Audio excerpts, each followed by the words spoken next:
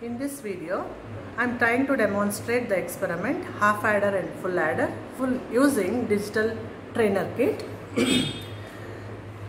the trainer kit consists of AND gates, XOR gates and OR gates.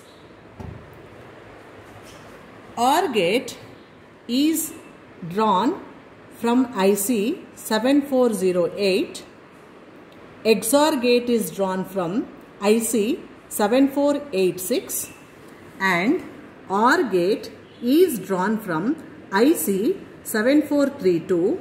These three ICs are quadrupole ICs with 14 pins in which in each IC we can draw four corresponding gates. Pin number 7 is given for ground and pin number 14 is given for plus VCC. Half adder circuit is shown in this figure. Half adder is constructed using AND gate and XOR gate. We require one AND gate and one XOR gate to construct half adder Basically, half adder is a digital circuit which is going to add two digital inputs. Half adder consists of two inputs represented by A and B. It consists of two outputs. One is represented as carry which is A dot B and another is represented as sum which is A exclusive B. The truth table for half adder is represented in this col tabular column. A and B are the inputs. We have four different combinations of inputs and two outputs. One is carry, another one is sum. When both the inputs are low, sum is low and carry is low represented as 0 and 0. When any one of the inputs are high then sum is high and carry is 0. When both the inputs are high sum will be 0 and carry will be high. The connections for half adder on the trainer kit is shown here. This is a trainer kit which consists of AND gates, XOR gates and OR gates. We require one AND gate and one XOR gate. To do the connections, there is a provision to draw inputs digital inputs. If the switch of any one of these inputs is to is towards 0 then the input will be low.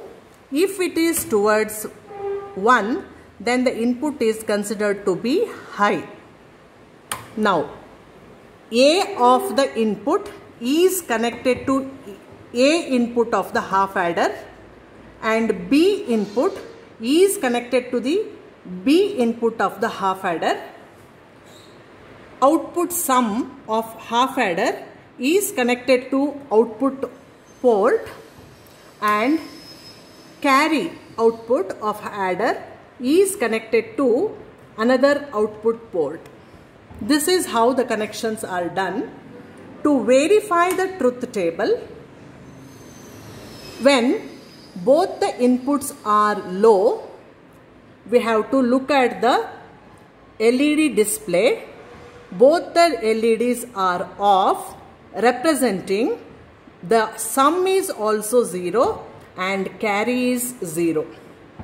The corresponding outputs can also be verified using the voltage levels by measuring the voltage levels to measure the voltage levels, there is a ground connection which is to be connected to the multimeter, negative of the multimeter and the positive of the multimeter is to be placed to the terminal where we are measuring the output. Now I am measuring the sum output and the voltmeter uh, that is the multimeter is showing 0.069 volts.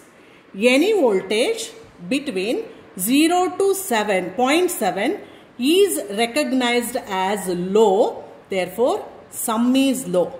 When both the inputs are 0, sum is 0. Multimeter is showing 0.069 that is low. Similarly, to measure the voltage level of the carry output, I am placing the positive terminal to the carry point, the carry port. Output, the multimeter is showing 0, representing the carry is also 0. When any one of the inputs are high, here A is made high, B is made 0, sum will be high therefore LED is glowing and carry is 0 LED is not glowing. Corresponding voltage levels are recorded like this. Sum is showing the voltage 3.45 which is considered to be high and carry is showing the voltage 0 representing low. When both the inputs are high, carry will be high, sum will be low. Corresponding voltage levels are recorded like this. Voltage for sum is showing as 0.077 less than 0.75 therefore it is low and for carry it is giving an voltage of about 4.853 which is considered to be high. This is how we will be verifying the truth table experimentally of an half adder to record the readings there is a tabular column here. The inputs are entered in first and the second column. Corresponding logic state that is the uh, LED condition is entered in this third column. If LED is off it is to be recorded as 0 if LED is glowing then it is to be recorded as 1 and corresponding voltage levels should be entered here. This is for carry. And these two columns are for sum.